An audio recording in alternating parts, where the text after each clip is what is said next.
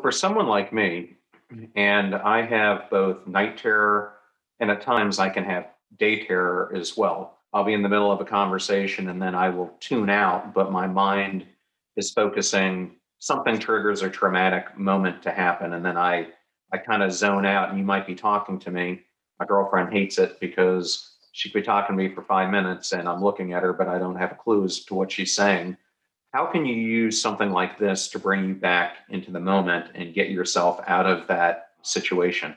Because you are trying to escape a situation that doesn't feel safe and it may not be what your girlfriend is saying it's just that whatever thoughts might have whatever thought has been triggered and there's a part of you that is trying to escape and so the tapping allows us to calm down and say okay it's safe. It expedites the parasympathetic nervous system. So the sympathetic nervous system is when we respond to a threat and go into fight or flight.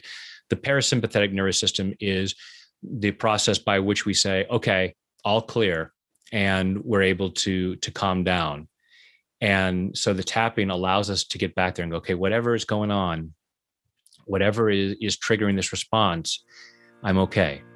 I'm okay right now Hi, I'm John Miles, the host of the Passion Struck podcast, and we have new episodes every Tuesday and Friday. And you're not going to want to miss some of these upcoming ones, including Trav Bell from Australia, who's a world renowned expert in creating bucket lists. In fact, his name is the Bucket List Guy, where we talk about not only how do you create a bucket list, but how do you execute on that and achieve those aspirations that you want in your life. And then I also have on Steph Lee, who overcame a debilitating disease when she was only 31 or 32 years old and is now using the lessons from that to help millions everywhere unlock their passion in their life. But until then, you can reach us on Instagram at Passion Struck Podcast or check out our YouTube channel at John R. Miles. Remember, make a choice, work hard, step into your sharp edges.